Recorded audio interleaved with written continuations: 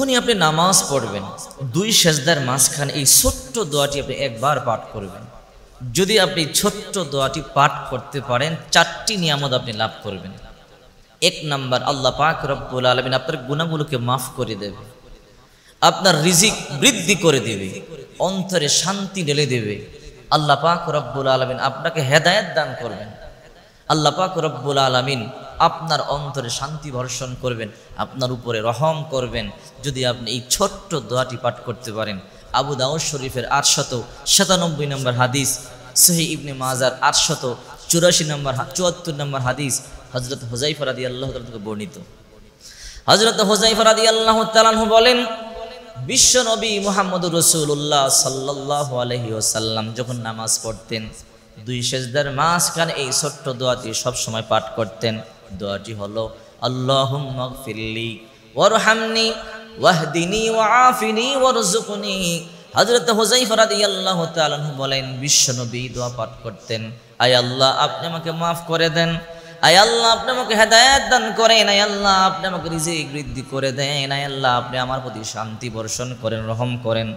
হযরত হুযায়ফা রাদিয়াল্লাহু তাআলা বলেন বিশ্বনবী মুহাম্মদ রসুল্লাহ সাল্লাহ আলহি ওসাল্লাম বলেছেন, যে ব্যক্তি দোয়া পাঠ করবে, আল্লাহ তার চারটা তাকে নিয়ামত দান করবে।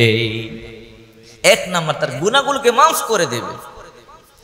আল্লাহ তালা তার গুণাগুলোকে মাফ করে দেবেন। দুই নাম্বার আল্লাহ পাক রব্বুল আলমিন তার উপরে রহম করবেন, শান্তি দিবেন। তিন নাম্বার আল্লাহ পাক রব্বুল আলমিন রিজিক বৃদ্ধি করে দেবেন। চার নম্বর আল্লাহ পাক রব্বুল আলমিন তার অন্তরে শান্তি দিয়া পরিপূর্ণ করে দেবে।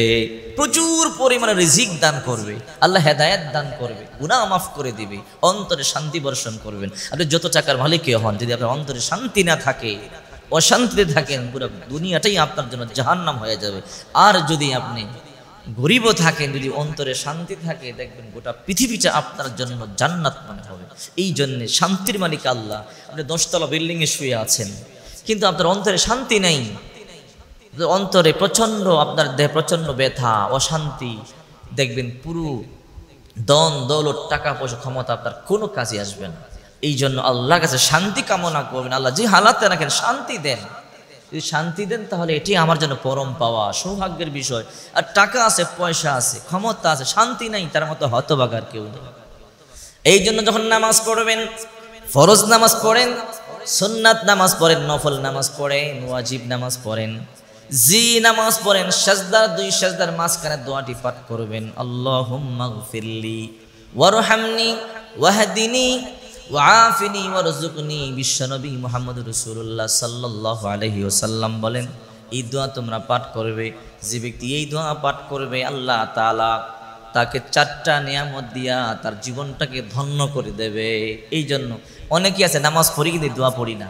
এগুলো শিখতে হবে। যদি আপনি পড়তে পারেন, ফরজ নামাজও পড়বেন, ওয়াজিব নামাজও পড়বেন, সুন্নত নামাজও পড়বেন, নফল নামাজও পড়বেন, তাহলে দেখবেন চারটা